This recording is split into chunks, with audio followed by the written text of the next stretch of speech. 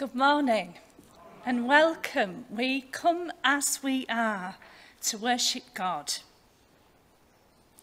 I'm hoping we're going to share um, Psalm 121, um, which is a song of ascents, a sacred song that's believed to have been sung by pilgrims travelling the ancient road to Jerusalem.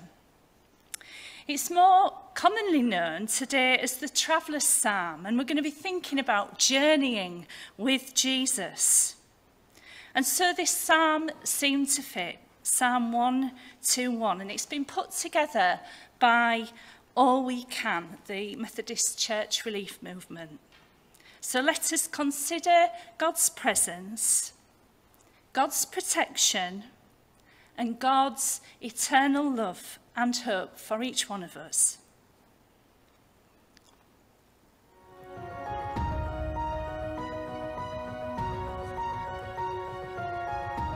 Dear God, I lift up my eyes, drawing them back to focus on you. I look behind me to see the trail of my life. Where were you? I look closely and see the hallmarks of your presence strength, patience, peace, joy, and comfort. You watch over me, over each step I take. Where does my help come from? It comes from you. You are the same always. You were with me. You are with me. You will be with me forever. I lift up my eyes to you. God of wisdom, hear my prayer. Amen.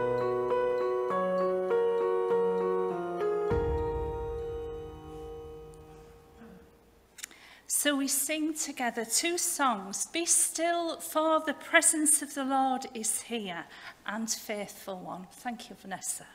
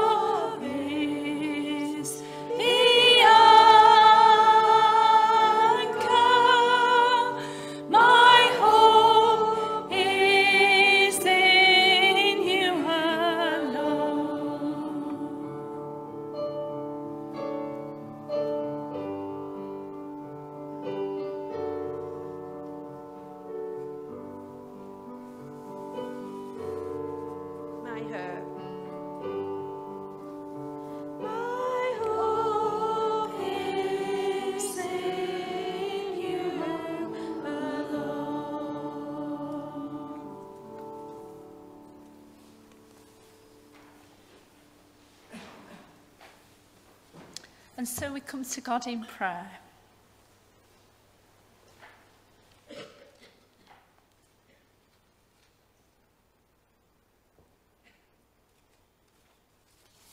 Let us pray.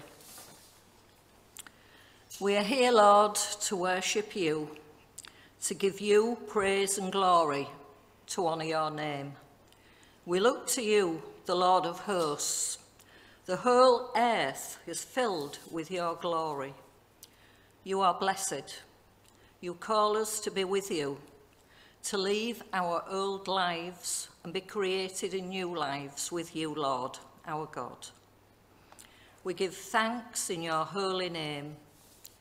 We marvel at the world you made, all the living things, the enormous variety of creatures, plants, and landscapes. We give thanks for your presence, fulfilling our hopes, giving support in our daily struggles in life. We confess, Lord, that when we are una unable to cope with dilemmas, that we sometimes forget all about you. We don't automatically pray to you. We struggle on our own. We need to change, Lord, so that you are first in our hearts, and we ask for your support in order to do this. When we journey in life, we can decide to travel alone. We leave you behind, Lord. Help us to realise that we need you on our journey. Amen.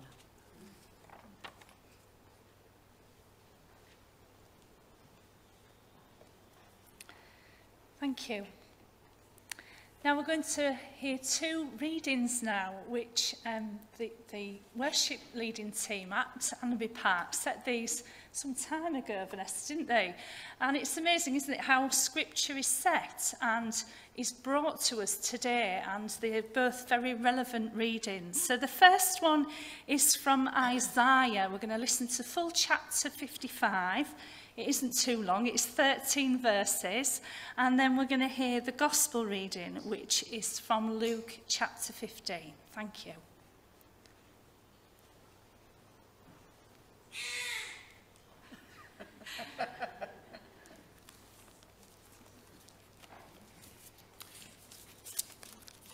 Prophet Isaiah, chapter 55.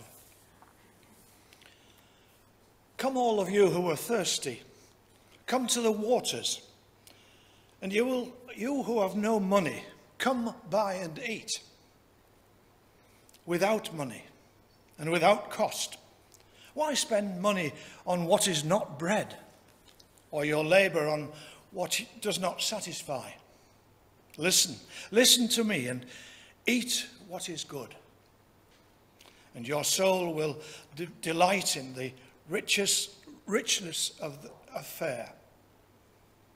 Give ear to and come to me. Hear me, that your soul may live. I will make an everlasting covenant with you, my faithful love promised to David. See, I have made him a witness to the peoples, a leader and commander of the peoples.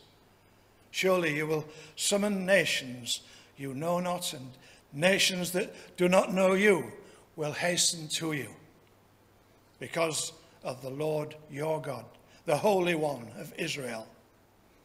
For he has endowed you with splendor. Seek the Lord while he may be found. Call on him while he is near. Let the wicked forsake his ways and the evil man his thoughts.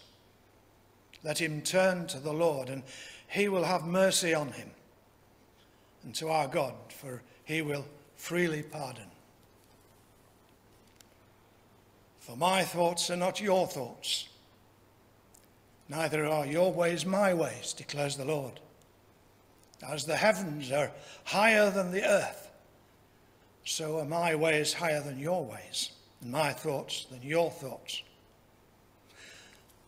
As the rain and the snow come down from heaven and do not return to it without watering the earth and making it bud and flourish, so that it yields seed for the sower and bread to the eater, so is my word that goes out from my mouth. It will not return to me empty, but will accomplish what I desire and achieve the purpose for which I sent it. You will go out in joy and be led forth in peace. The mountains and the hills will burst into song before you, and all the trees of the field will clap their hands. Instead of the thorn bush will grow the pine tree. Instead of the briars, the myrtle will grow. This will be for the Lord's renown for an everlasting sign which will not be destroyed.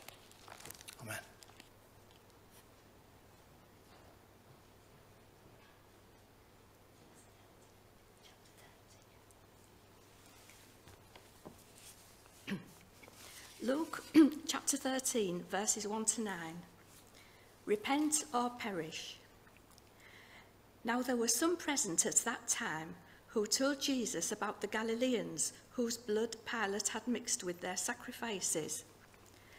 Jesus answered, Do you think that these Galileans were worse sinners than all the other Galileans because they suffered this way? I tell you, no. But unless you repent, you too will all perish. Or those 18 who died when the tower in Siloam fell on them, do you think they were more guilty than all the others living in Jerusalem? I tell you, no. But unless you repent, you too will all perish. Then he told this parable. A man had a fig tree planted in his vineyard, and he went to look for fruit on it, but did not find any. So he said to the man who took care of the vineyard, For three years now, I've been coming to look for fruit on this fig tree and haven't found any. Cut it down. Why should it use up the soil? Sir, the man replied, leave it alone for one more year, and I'll dig round it and fertilise it. If it bears fruit next year, fine. If not, then cut it down.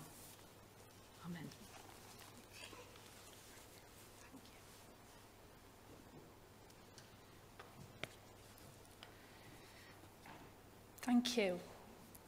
We're going to sing a hymn now, which it's an old hymn, and uh, our organist at Brough loves playing this um, song. I know Vanessa wasn't uh, familiar with the tune, but it is based on Psalm 139. Oh God, you search me and you know me.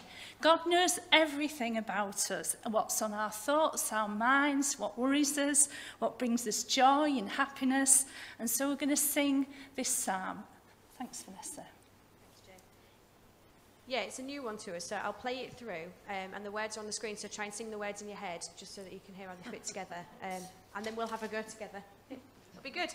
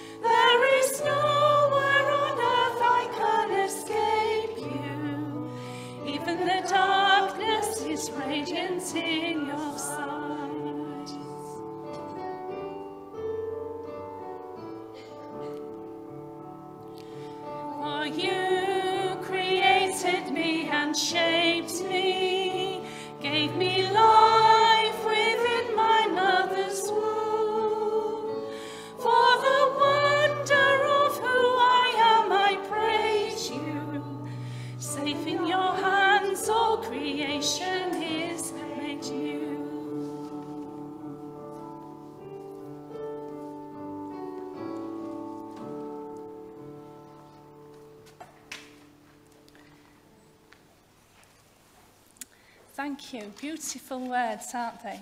That hymn. Psalm 139, that's uh, where the song was written from. So Jesus takes us on a journey. We recently had a friend and her two young children stay with us and unfamiliar to the surroundings around here, we decided to take them across to the other side of the river via the Humber Bridge. And even two minutes into the journey, I heard the phrase, are we nearly there yet? I'm sure you've heard that phrase before. Well, what they didn't know was that journey across the river um, wasn't always as quick as it is today. I've got a photograph. I hope John can maybe share it. And uh, does anybody know where that is? It's the pier, yeah. It's Victoria Pier. And then there are the benches, yeah. And used to have a shelter. Used to be a station there, um, even though it wasn't a railway station. And you caught the Humber Ferry. Um, lots of people nodding their heads. I have a really, really vague, vague memory, and I, and I dread to think how long ago it was of, of going on that trip across to Grimsby. Um, I don't know how long the journey took, but I'm sure it wasn't... It took ages. I bet you're all thinking, are we nearly there yet? um, it was there and it linked the river, the Humber uh, between the Kingstupon Hull to New Holland. And that was until the Humber Bridge opened in 1981. Whilst the journey to Grimsby or Lincolnshire for many now is not the epic journey it used to be, that's unless you're a bit worried about heights and you don't like crossing that bridge, it's, uh, it's one of a journey, a journey across the river local to us. There's lots of journeys, lots of famous routes across the world, aren't there? Route 66, the Orient Express, the Silk Road, linking China to the Middle East and Europe. More recently uh, has become the involvement of the North Coast 500. Have you heard of this? This is in Scotland. You've done it. Wow. It's, it's described as Scotland's ultimate road trip. A journey of over 500 miles 516 I'm told to be exact. That's if you don't divert. I bet it's easy to do that to actually go off the journey off the route. Seeing the white sandy beaches the rugged mountains remote fishing villages hidden gems. It's described as a beautiful road trip. I wonder what parts of your life journey you recognise today. Today, it would be hard for us, wouldn't it, to ignore the journeys that millions are taking right now. Crossing borders, seeking refuge, looking for shelter and love and hope. People on journeys not necessarily marked by a well-trodden route, Whether on a physical, emotional or spiritual journey, God calls us to journey with him. Journey with Christ, behind, ahead, beside. The Bible is full of journeys. Many biblical figures were called upon to undergo an epic journey like Moses leading the people out of slavery. Psalm 23 is a psalm that many people love. The Lord's my shepherd. It speaks of journeying through life's ups and downs. Jesus had a journey. A journey trying to teach and show people God's way. A journey of love, a journey of sacrifice, a journey to the cross, and ultimately to his resurrection. St. Paul takes the gospel of Christ and travels a journey met with conflict and imprisonment. Yet we rarely read in Paul's letters, do we, uh, any isolation or loneliness there. St. Paul's on a journey with Christ, full of passion, full of the Holy Spirit. We read in his letters a sharing of joy and blessing and peace, even when he's writing these letters in prison. Today's Old Testament reading that Brian read from the prophet Isaiah then is so relevant for us today on life's journey. The prophet speaks about against corrupt leaders. He spoke up for the disadvantaged and reminded those who would hear his words to root righteousness in God's holiness. Isaiah tells us of God's gracious, free invitation to all. He tells us that we are to be richly fed and watered, especially those who thirst. We don't have to bring money or wealth.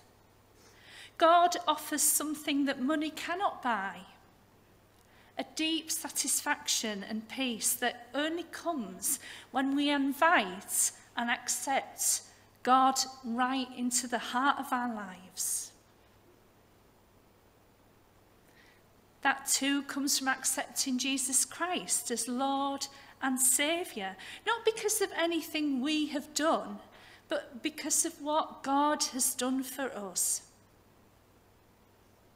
And then, can we allow God's Holy Spirit to transform every one of us? All this is free. God is speaking to the discouraged people through the prophet Isaiah. He speaks to people in captivity, people whose future was uncertain, those whose lives were hard.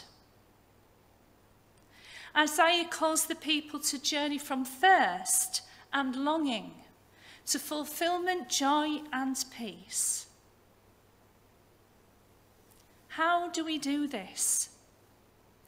Three things that Isaiah tells us to do. We must listen carefully.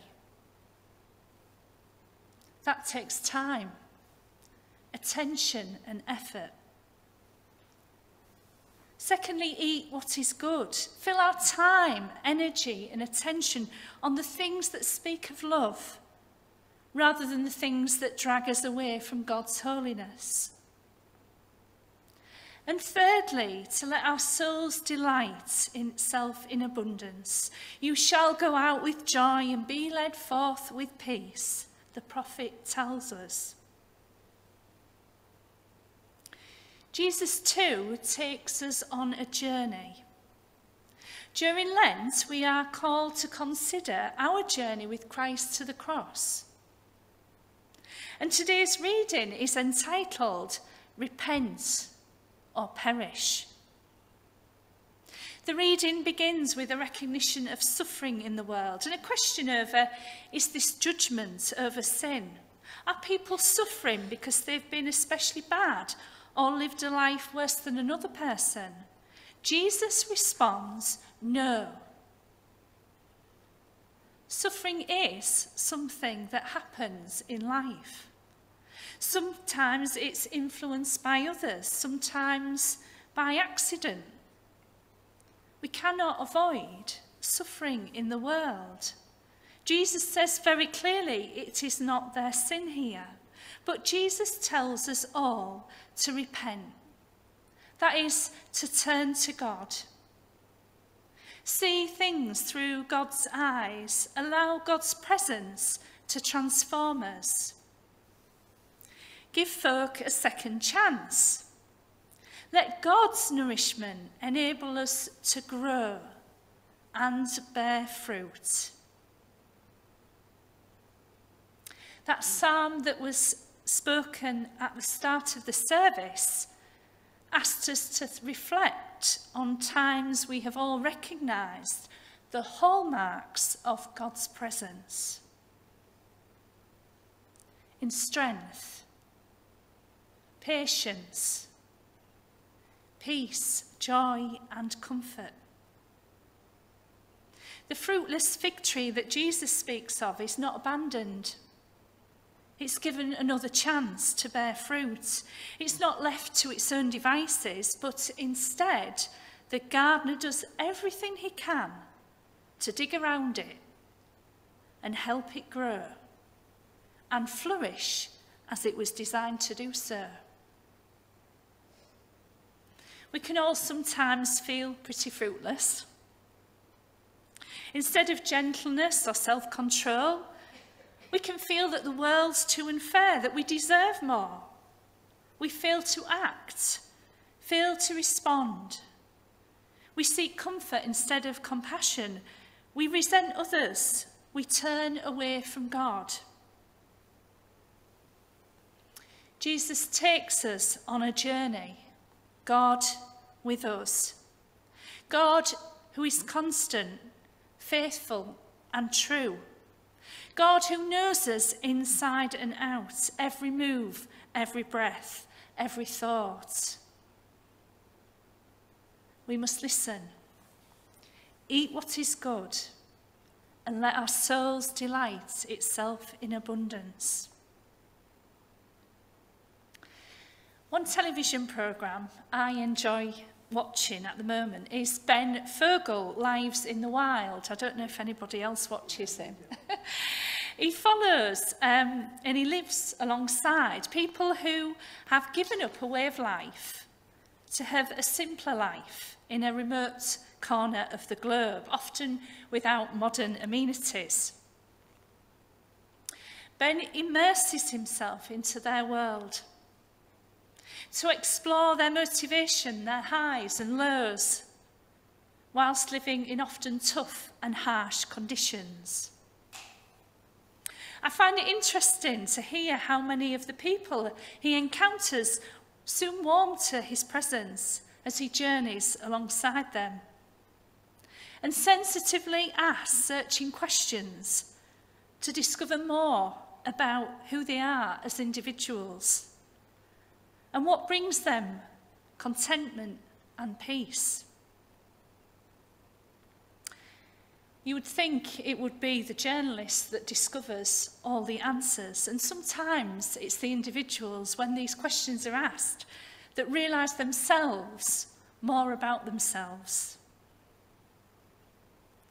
Jesus takes us on a journey and beckons us all to follow immerse ourselves in his ways. He invites us to travel with him, to listen and seek him first and foremost, at the start, during, and end of each day.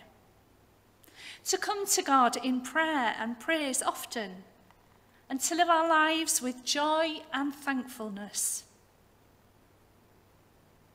The truth is that we are not on a simply on a journey to a destination where we will meet Jesus eventually, but that Jesus calls us to journey with him right now, here and now, in this place, in our lives. God knows us inside and out, and the invitation is to immerse ourselves in his way, one that leads us to grow and flourish to live out and show the world the hallmarks of God's presence in our lives, bringing strength, patience, peace, joy, and comfort to others around us so that they may know God themselves. What a privilege! What a blessing! To conclude, I want to share with you a poem that many of you will be familiar with. Footprints in the Sand. One night I dreamed a dream as I was walking along the beach with my Lord. Across the dark sky flashed scenes of my life. For each scene I noticed two sets of footprints in the sand. One belonging to me and one to my Lord. After the last scene of my life flashed before me, I looked back at the footprints in the sand. I noticed that at many times along the path of my life, especially at the very lowest and saddest times, there was only one set of footprints. This really troubled me, so I asked the Lord about it. Lord, you said once I decided to follow you, you'd walk with me all the way.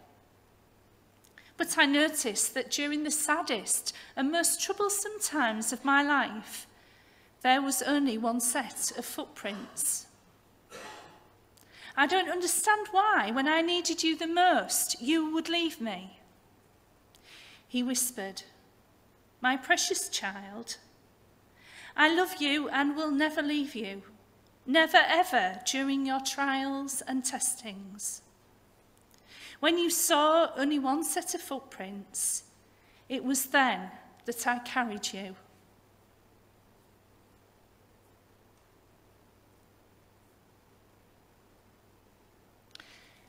Let us take time to sit and feel God's presence. Ponder on his words for us today.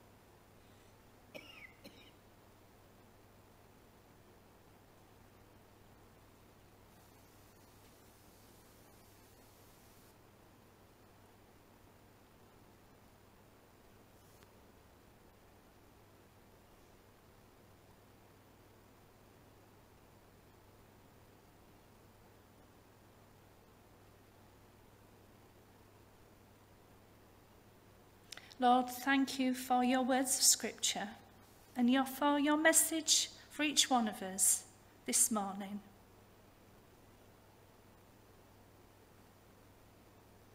Jesus, our friend, we bring to you now our prayers for the church and for the world.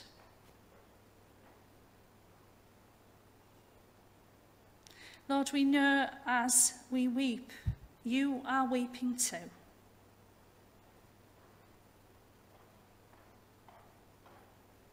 We pray for Christians across the world, those who are persecuted, those seeking freedom.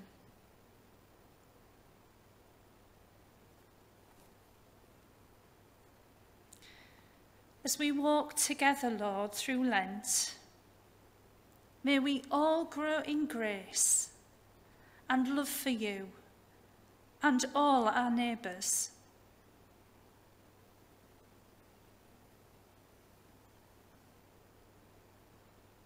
Jesus, our shepherd, we pray for those who suffer today.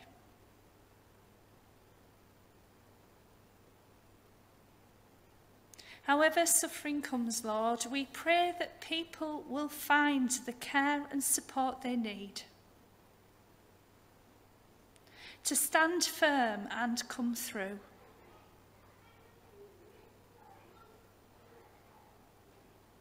We pray for ourselves, Lord, that we may be a light to those who are in the darkness and a comfort to those who need strength.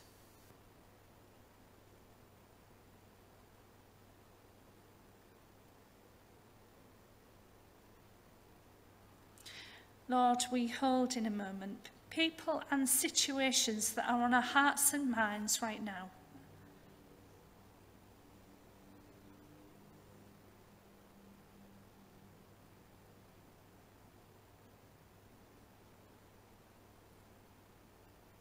Bring hope, bring love, and bring joy.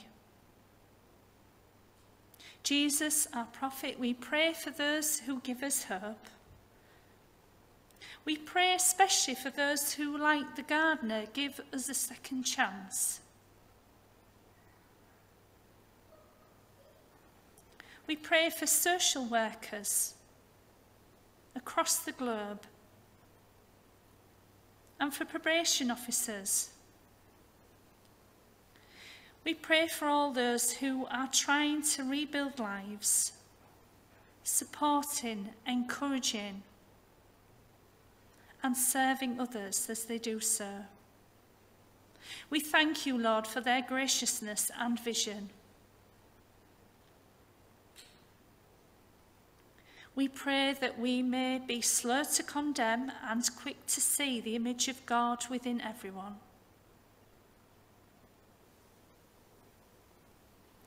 Jesus, our life, we pray that you will fill us with hope, strengthen us by faith, and direct us by love, so that we may play our part in your kingdom of justice, love, life, and hope.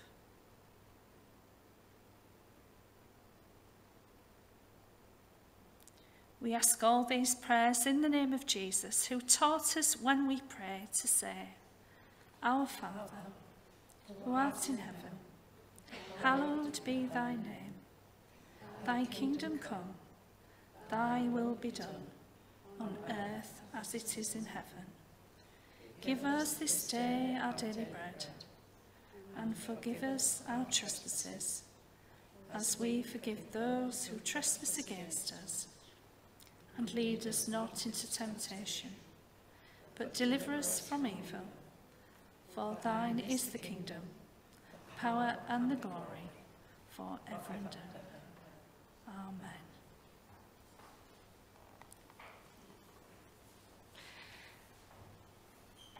It's lovely to see you all. We're going to sing a song and a blessing, and then we'll invite you to tell us what you've been doing. So we're going to sing Beauty for Brokenness, a wonderful prayer and song.